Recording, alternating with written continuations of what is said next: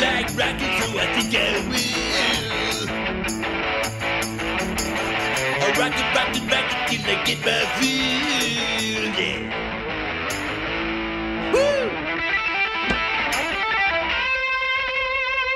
Hey, Bart, what's going on? Mom, I thought you might forget our little conversation this afternoon, so I took the precaution of recording it. What conversation? Mom, can Otto live in our garage for as long as he wants? He sure can. Marge, what were you thinking? That's not my voice. Oh, everybody says that when they hear themselves on tape.